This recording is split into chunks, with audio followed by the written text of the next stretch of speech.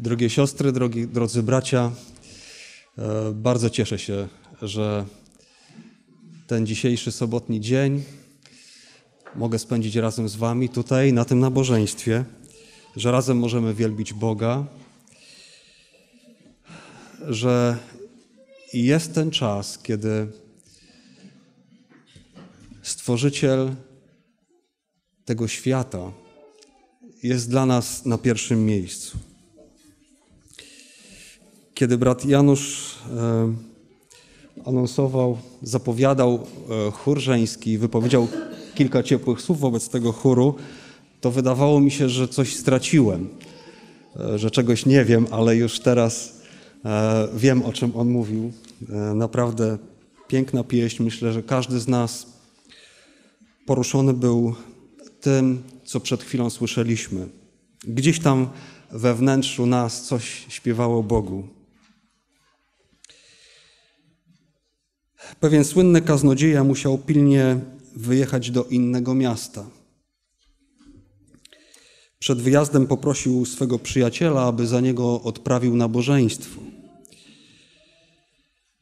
Kiedy więc o poranku świątecznego dnia kościół wypełnił się po brzegi, w pewnym momencie okazało się, że nabożeństwa odprawiać będzie nieznany duchowny.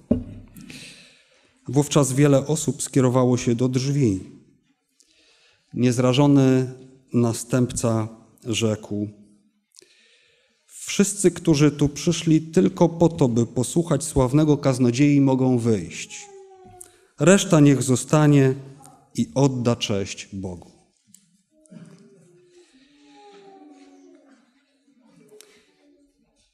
Po co przychodzimy na nabożeństwo? Pozwoliłem sobie zrobić taką krótką, oczywiście niewyczerpującą tematu listę, jako pewną ilustrację. Możecie ze mną się zgodzić, ale nie musicie. A więc przychodzimy na nabożeństwo po to, żeby spotkać znajomych, przyjaciół, gdzieś tam w kuluarach, w przerwie lub po nabożeństwie porozmawiać z nimi. Przychodzimy, żeby posłuchać muzyki. I to, co teraz mówię, nie jest gołosłowne. Przed chwilą pięknej muzyki słuchaliśmy. Oczywiście muzyki chrześcijańskiej, to jest jasne. Przychodzimy podyskutować, choćby w szkole sobotniej, to jest ten czas. Ale czasem być może przychodzimy, żeby pokazać samego siebie. Niektórzy mają okazję wystąpić na podium. Czasami gdzieś tam w kuluarach okazuje, okazujemy nasze poczucie humoru. E, czasami chwalimy się nowinkami technicznymi, może jakimś nowym iPhone'em czy iPadem. Czasami można odnieść wrażenie, że niektóre osoby przychodzą na nabożeństwo po to, żeby zadać jakieś trudne pytanie i, i zamieszać, włożyć w kij w mrowisko. Wydaje się, że niektórzy bardzo lubią wkładać ten kij w mrowisko. Może czasami jest tak, że przychodzimy wysłuchać porywającego kazania. Tak też bywa. Jakieś 30 lat temu e, rozmawiałem z pewnym człowiekiem, który na jednym ze zjazdów e, gdzieś tam, e, kiedy, kiedy w wolnej chwili rozmawialiśmy, mówił, ale ten pastor miał kazanie. Ach, to był ogień. Problem był tylko tym, w tym, że ten człowiek, mimo iż wysłuchał tego, ale pewnie i wielu innych płomiennych kazań, niespecjalnie był gotów na to, żeby zmienić swoje życie.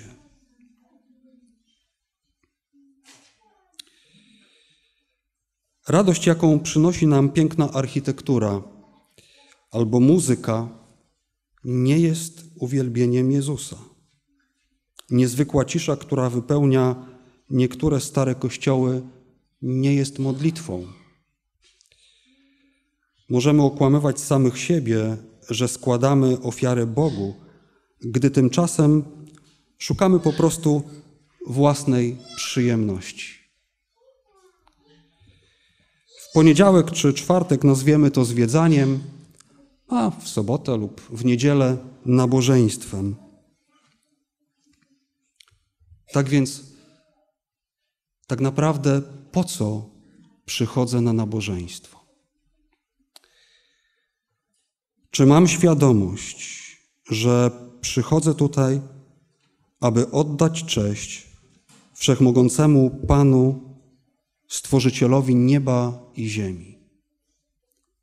Dziś w szkole sobotniej troszeczkę nawiązywaliśmy właśnie do tego, że sobotni dzień jest tym czasem, kiedy wielbimy Boga jako naszego Stwórcę. Jeśli przychodzę tutaj wielbić Boga, to czy świadczy o tym całe moje życie, cała moja osoba, całe moje zachowanie? Moje słowa, mój ubiór, mój uśmiech, moja gotowość służby.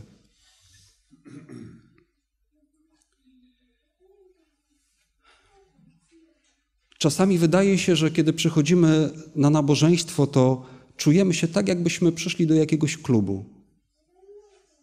Niezobowiązująca atmosfera, pewien luz, swoboda. Oczywiście nie chodzi tutaj o to, abyśmy wszyscy czuli się sztywno i zestresowani, ale abyśmy mieli świadomość, że jest to szczególne spotkanie. Czy te rzeczy, o których wspomniałem, rzeczywiście świadczą, że jestem w tym szczególnym miejscu, w szczególnym czasie i przed szczególną osobą?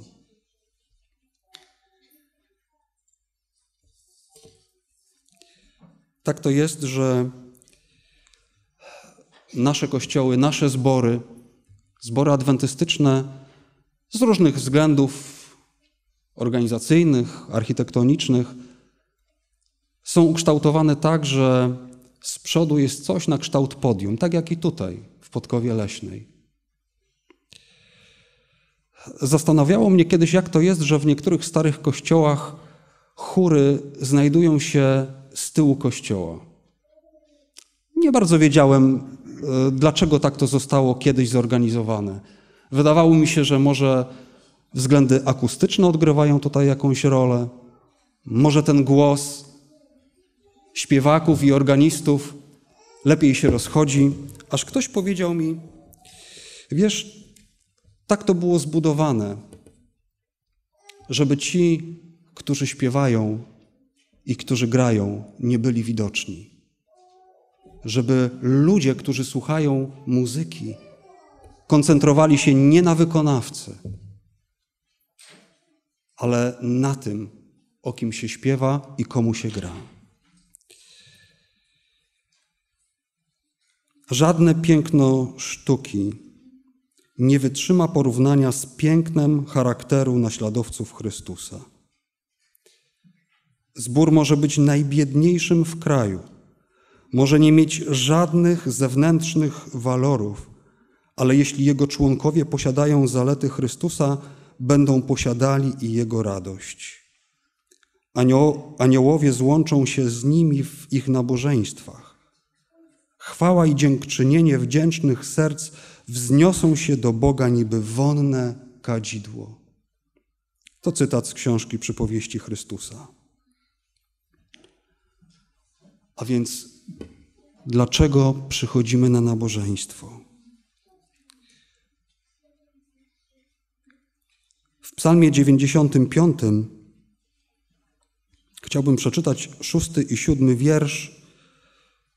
Chciałbym e, przeczytać to tym razem z Biblii Tysiąclecia, ale oczywiście, e, jeśli macie czy Biblię Warszawską, czy jakiekolwiek inne tłumaczenie, możecie śledzić te słowa. Psalm 95, 6 i 7 wiersz. Wejdźcie, padnijmy na twarze Uwielbiajmy, zygnijmy kolana przed Panem, który nas stworzył. On bowiem jest Bogiem naszym, a my ludem pastwiska Jego i trzodą ręki Jego. Wejdźcie, padnijmy na twarze, uwielbiajmy, zegnijmy kolana przed Panem. Czasami wydaje nam się, że są pewne rzeczy, które mogą pomóc nam ożywić nabożeństwo i ożywić naszą pobożność przed Bogiem. Dokonujemy różnych rzeczy, próbujemy różnych rozwiązań, pojawiają się nowe tendencje. I gdzieś tam z tymi rzeczami spotykamy się w takich czy innych miejscach, może w niektórych naszych zborach. A to klaskanie, a to podnoszenie rąk, a to tańce. Próbujemy ożywić zbór. Ja nie chcę teraz ustosunkowywać się do tego, czy to dobrze, czy źle. Myślę, że wielu z nas ma jakieś spojrzenie na ten temat, ale chciałbym wyrazić pewien taki niedosyt. Do tej pory nigdzie nie dostrzegłem, aby w żadnej chrześcijańskiej społeczności, w żadnej, próbowano wprowadzić to, o czym czytaliśmy w tym psalmie. Pamiętamy, co tam było napisane? Wejdźcie, padnijmy na twarze. Tego rodzaju sposób wielbienia Boga nie był właściwy tylko dla czasów Starego Testamentu. Gdybyśmy próbowali sobie wyobrazić, jak to wyglądało w praktyce, może jeśli mamy gdzieś w głowie muzułmanów, którzy czczą swego Boga, być może wyglądałoby to podobnie. Nie widziałem nigdzie w naszych zborach, w jakichkolwiek zborach czy kościołach w chrześcijaństwie tego rodzaju prób. Dlaczego?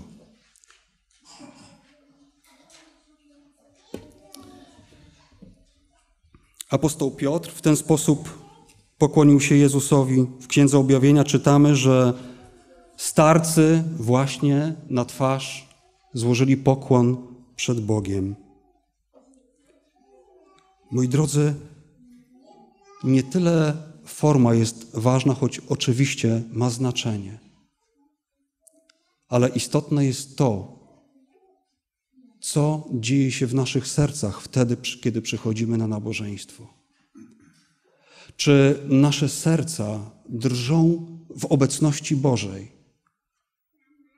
Czy to, co dzieje się w naszym wnętrzu, jest odzwierciedleniem tego niesamowitego wpływu, jaki chce wywrzeć na nas Duch Święty? Ten sposób wielbienia Boga w naszym życiu oczywiście może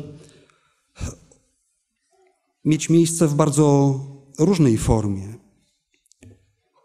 Ale kiedy czytamy w Piśmie Świętym różne fragmenty, różne historie, to czasami coś nas zastanawia. W Ewangelii Jana w rozdziale 11 i 4 wierszu czytamy, że Jezus dość ciekawie skomentował pytanie uczniów, którzy widząc niewidomego człowieka zadali dziwne pytanie. Pamiętamy może te słowa, to pytanie. Panie, kto zgrzeszył, on czy jego rodzice, że się urodził ślepy, niewidomy? Kto zgrzeszył? Oczywiście samo pytanie, samo w sobie było nielogiczne, bo no, jeśli rodzice mogli zgrzeszyć, to jak mógł zgrzeszyć ten człowiek przed swoim narodzeniem? Tego nie potrafimy sobie wyobrazić. Ale może pytanie nie było istotne, ważne to, co powiedział Jezus. Ten czwarty wiersz z Ewangelii Jana z jedenastego rozdziału. A usłyszawszy to, Jezus rzekł: Ta choroba nie jest na śmierć, lecz na chwałę Bożą, aby syn Boży był przez nią uwielbiony. Aby syn Boży był przez nią uwielbiony. Znamy tę historię, wiemy, jak się potoczyła Ale wtedy, kiedy w naszym życiu pojawiają się jakieś niedostatki, jakieś problemy, czy myślimy o tym, że i w ten sposób możemy wielbić Boga? Pan Jezus powiedział, to jest czternasty rozdział tej samej Ewangelii i wiersz trzynasty. O cokolwiek prosić będziecie w imieniu moim, to uczynię, aby Ojciec był uwielbiony w Synu. Aby Ojciec był uwielbiony w Synu. Kiedy przychodzimy na nabożeństwo, kiedy uczestniczymy w nabożeństwie, gdzie są nasze myśli?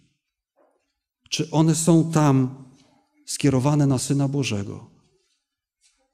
Bo wtedy, kiedy Pan Jezus rzeczywiście jest na pierwszym miejscu, także na nabożeństwo, na nabożeństwie, nie tylko ogólnie w naszym życiu, kiedy On jest na pierwszym miejscu, wtedy jest naprawdę wielbiony Bóg.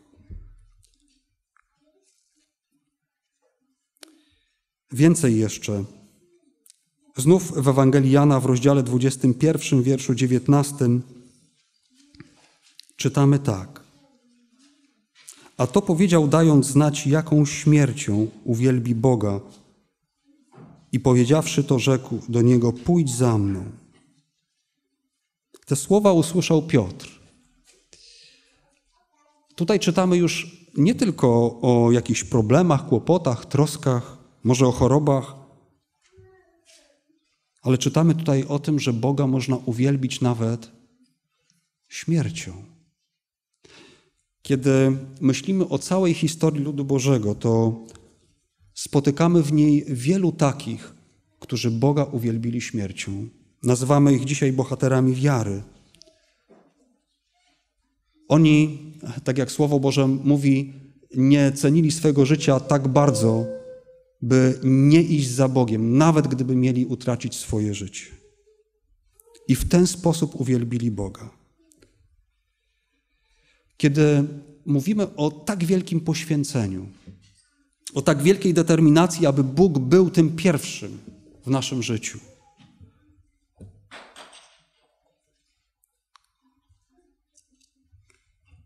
czyż nie potrzebujemy czasami choćby chwili ciszy? Zauważyliśmy, że chrześcijanie, no bo ciągle mówimy o chrześcijanach, niejednokrotnie są w takich warunkach, że właściwie nie ma chwili ciszy. Uczestniczą w nabożeństwach, w koncertach.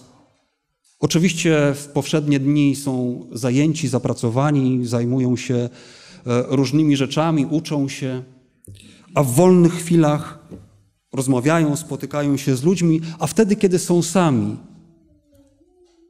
wypełniają swego rodzaju pustkę muzyką.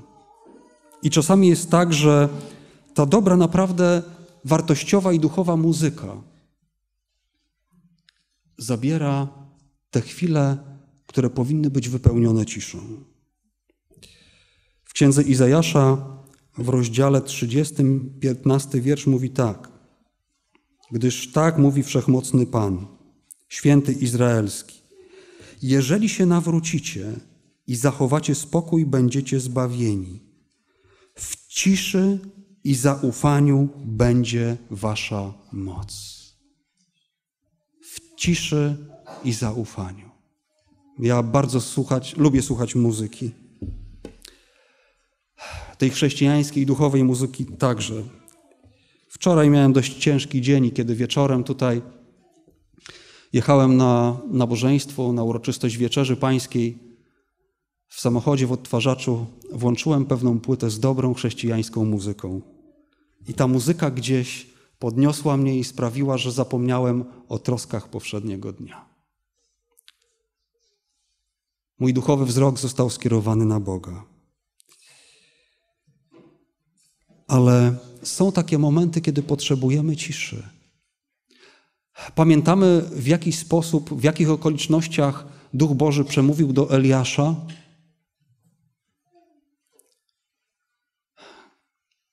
Wtedy, kiedy gdzieś był tylko cichy powiew.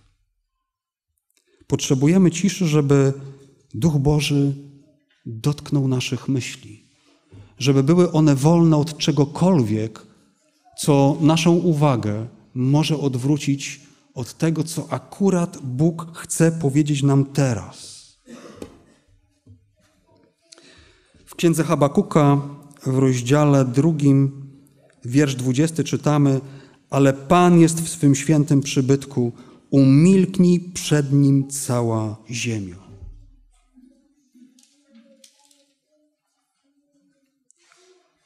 W miejscach wielkich widowisk jest zazwyczaj duży szum, aplauz, hałas spowodowany e, muzyką, różnymi wydarzeniami. E, spowodowane to jest no, tym programem różnych widowisk. Jako dziecko lubiłem chodzić do cyrku. E, o wielu rzeczach można się w cyrku nauczyć. To nie jest tylko miejsce różnych widowisk. Jeśli ktokolwiek z Was był w cyrku kiedyś, być może teraz to nie jest jakaś popularna forma rozrywki, to może pamięta, że wtedy, kiedy zbliżał się jakiś kulmin, kulminacyjny moment jakiegoś przedstawienia, może to były jakieś szczególne akrobacje gdzieś tam na trapezie, które wiązały się z jakimś niebezpieczeństwem, wówczas konferencjer prosił publiczność o zachowanie absolutnej ciszy. Czy takie momenty ciszy są w moim życiu? Kiedy czytamy o Dniu Pojednania, o tym starożytnym Dniu Pojednania, który obchodzili Izraelici jeszcze w czasach Starego Testamentu, to tam w czasie tego uroczystego nabożeństwa były chwile przejmującej ciszy kiedy lud Boży skoncentrowany był gdzieś wokół świątyni, arcykapłan samotnie pełnił wtedy, tego dnia, służbę w przybytku. I tylko pobrzękujące dzwoneczki od czasu do czasu u skraju szaty arcykapłana świadczyły o tym, że tam odbywa się służba. A ludzie stali wokół świątyni i badali swoje serca i myśli. Gotowi byli usłyszeć to, co Bóg chciał im przekazać. Kiedy popatrzymy na Pana Jezusa, to też możemy czegoś nauczyć się z tego czasu, kiedy Pan Jezus za nas oddawał swoje życie. Pan Jezus Piotrowi powiedział, ale to już było po Jego zmartwychwstaniu, że swoją śmiercią uwielbi Boga. Ale kiedy popatrzymy na to, jak Pan Jezus umierał na Golgocie, to okazuje się, że konał w ciemności. Jedynymi mistrzami ceremonii byli jego kaci, oprawcy. Za pieśni uwielbienia służyły okrzyki i drwiny przechodniów ciekawskich. Ciekawe jest to, że Sobota, która nastąpiła po ukrzyżowaniu naszego Zbawiciela, była najcichszym dniem na Ziemi i we wszechświecie od czasu stworzenia naszego globu. Moi drodzy, kiedy przychodzimy przed Boży Tron, modlimy się do Niego, wielbimy Go pieśnią, słuchamy kazań, rozmawiamy, dyskutujemy w czasie szkoły sobotniej, to wszystko jest potrzebne. Ale potrzebujemy mieć chociaż tę sekundę ciszy, kiedy Duch Boży zada nam jakieś pytanie i powie, czy nie myślisz, że potrzebna jest zmiana w Twoim życiu?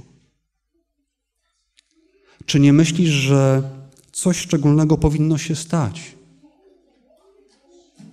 Może jeszcze bardziej powinieneś poświęcić się Bogu?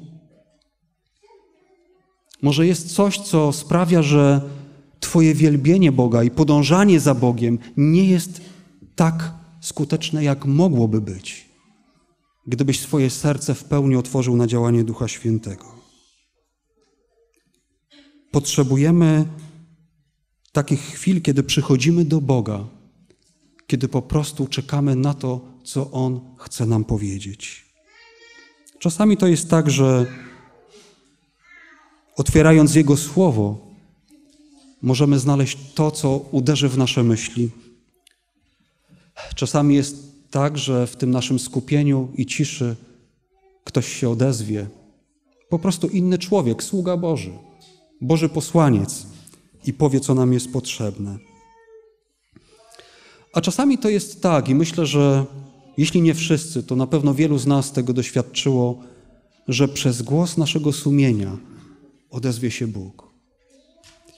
Moi drodzy, dziś, kiedy jesteśmy zgromadzeni na tym miejscu, kiedy jesteśmy przed Bożym tronem, zadajmy sobie pytanie, co Bóg dzisiejszego dnia zechciał mi powiedzieć. I prośmy, aby Duch Święty bez przeszkód docierał do naszego wnętrza, aby nasze życie było skoncentrowane rzeczywiście tylko na Bogu, tylko na Jezusie Chrystusie. Amen.